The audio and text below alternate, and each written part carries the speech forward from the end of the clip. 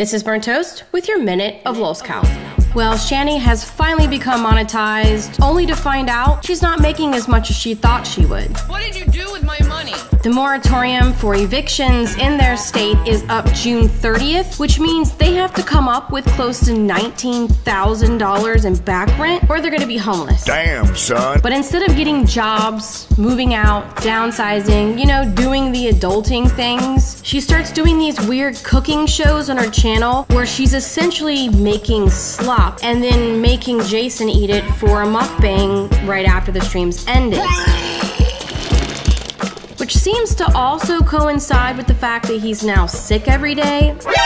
Hmm, funny that. But don't worry, folks, she has a jar of marbles and the penguin to defend her. You didn't see anything. Other things that's happened recently, Rick Productions is still on Tinder, not disclosing the fact that he has HIV.